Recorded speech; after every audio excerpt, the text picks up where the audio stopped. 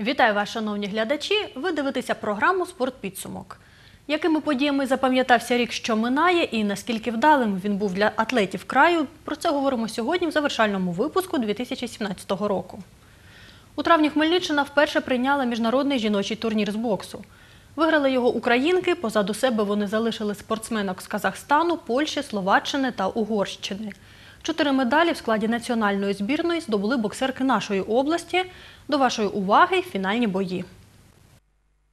Це вперше взагалі в Хмельницькій області, не тільки в Кам'янці-Подільському. Такий турнір проводимо серед жінок в категорії віковий молодь та юніорки. Е, Майже 70 учасниць е, з України, Казахстану, Словаччини, е, Угорщини та Польщі приймають участь. Є дівчата, які чемпіонки та призерки чемпіонатів Європи та світу, чемпіон- чемпіонки Азії серед казахстанських боксерок. І взагалі це ну дуже потужний турнір. Бій за перше місце. На ринзі кам'янчанка Сабіна Новосад і хмельничанка Анастасія Лісінська. На кону путівка на чемпіонат Європи. Міжнародний турнір у Кам'янці-Подільському для українок є відбором на континентальну першість. Дівчата сил не жалкують, тренери між раундами дають спортсменкам настанови. Виграє вихованка хмельницького авангарду Настя Лісінська. Секрети е, тільки молилась. Да, воно допомагає. Українки всі три змагальні дні впевнено ведуть країну до перемоги. Конкуренцію їм складають одні з кращих спортсменок світу. По континентам Азія, Казахстан е, це команда у світі, одна з кращих. Також Польща і Венгрія. Вони на європейському материку теж одні з кращих. Ну якби ми не пасемо задніх. Для боксерок з Казахстану турнір є переглядом спортсменок перед чемпіонатом світу. У Кам'янці-Подільському боксують 10 його потенційних учасниць. Команда формируется, это Центр олимпийской подготовки, город Алмата. М, прос- Для просмотра, для составления новой команды на мир мы готовимся. Поэтому у нас давняя дружба с Украиной, с главным тренером м, по молодежке, это Сергей Данилиным. По, по приглашению Федерации Украины мы сюда приехали. Ну, девочки, в принципе, неплохие. Э, Семь человек в финале. У команді Казахстану кажуть, техніка їхніх спортсменів відрізняється від інших, тим додають цікавіше спостерігати за боями. Мы работаем на ножках, это как бы Украина, э, вот Европа и Украина, они более, у них масса, физические данные, как бы другая школа отличается. Но не буду раскрывать секреты, потому что у каждой э, страны свои же ведь есть какие-то секреты, поэтому отличается. Битися за перше місце з казашкою довелося боксерці з Кам'янця-Подільського Олександрі Безродній. Перемогу святкувала подолянка. Перший бій я боксирувала з українкою з Дніпропетровська. А цей бій, е, ну, фінальний бій був з е, дівчиною з Казахстану. Ну, суперниця сильна, звичайно. Е, Кінцевий результат я перемогла, стала чемпіонкою міжнародного турніру. Перше командне місце міжнародного турніру з боксу виграла збірна України. До трійки найсильніших увійшли також команди Казахстану та Угорщини.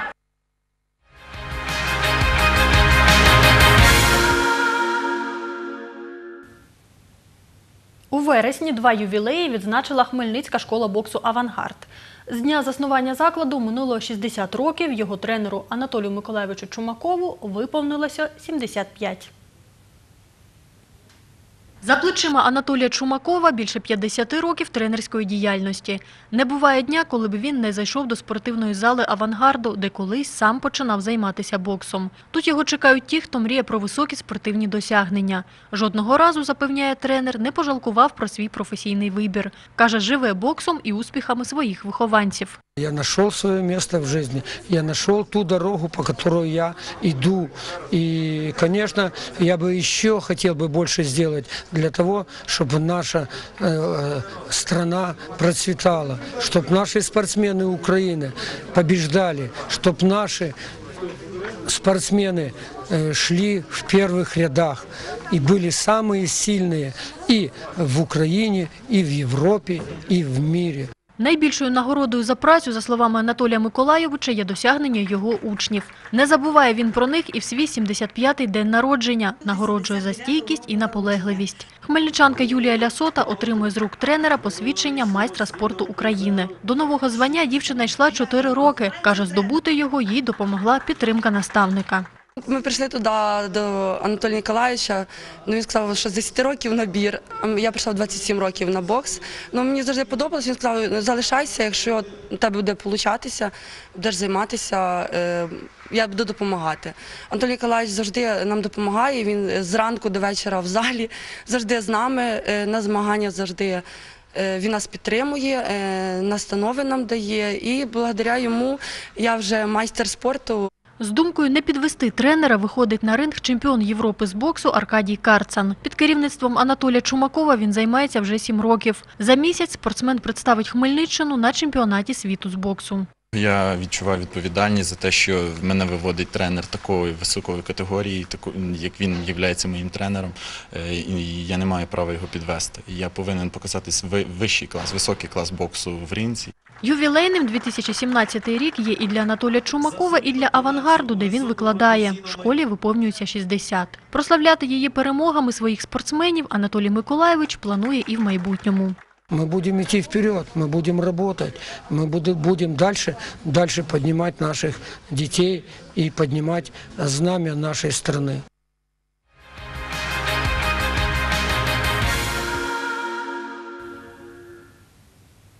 Влітку один з кращих бійців Федерації кікбоксингу України ВАКО, кам'янчанин Роман Головатюк, став бронзовим призером Всесвітніх ігор у Польщі.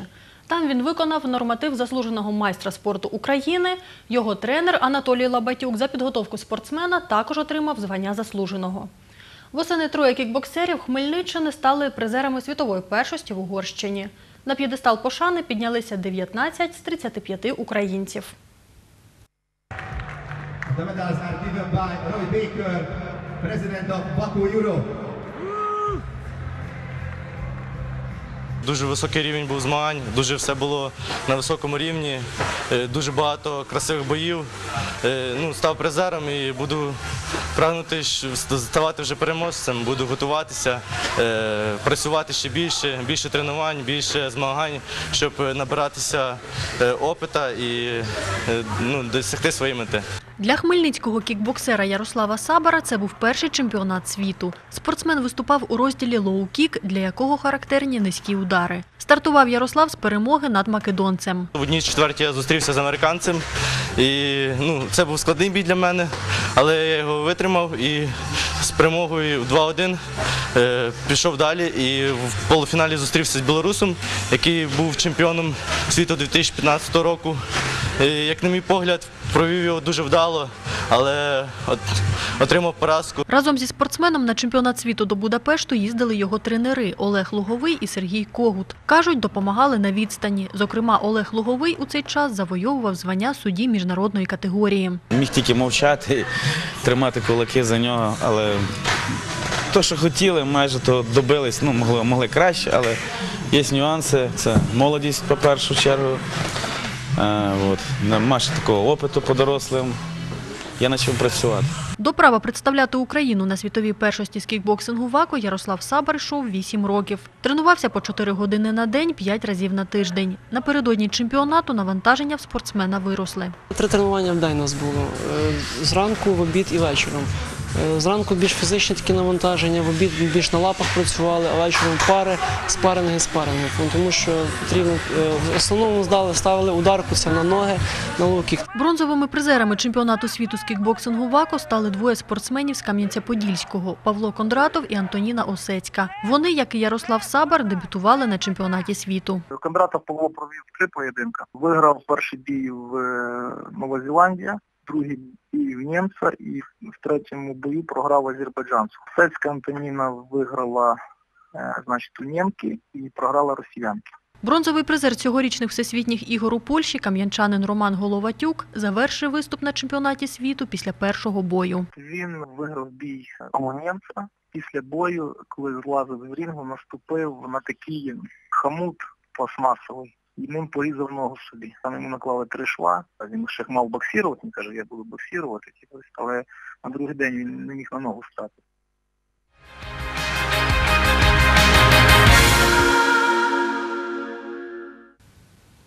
На першому місці завершив цей рік у другій лізі її дебютант Волочиський клуб «Агробізнес». 17 з 18 матчів у чемпіонаті завершилися на його користь. В останньому з них він обіграв на виїзді Івано-Франківське Прикарпаття з рахунком 4-2.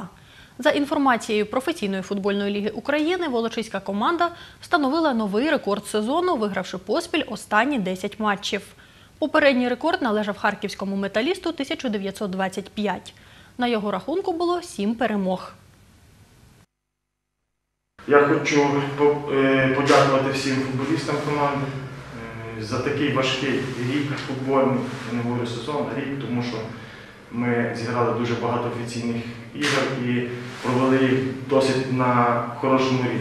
Ми виграли чемпіонат аматорів, і ми закінчили е, цей футбольний рік на першому місці в групі А другої Е, Я думаю, що для дебютанта е, професійної ліги це дуже хороший результат. На дев'ятому місці завершило перше коло чемпіонату України серед команд другої ліги Хмельницьке Поділля. В останньому матчі клуб зіграв нічию з Житомирським Поліссям. За цей рік в арсеналі хмельничан є 5 перемог, 3 нічиї і 10 поразок.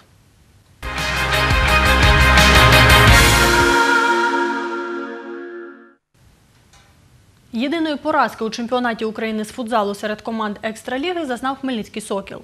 Клуб програв в останньому матчі року Києво-Житомирській команді Інбев НПУ з рахунком 2-3. Попри це, ігри в новому році хмельничани розпочнуть у числі лідерів. А ми продовжуємо слідкувати за спортивним життям області в новому році. Залишайтеся з нами, і хай 2018 буде щедрим на яскраві події. Миру вам, добра та злагоди. Шануйтеся!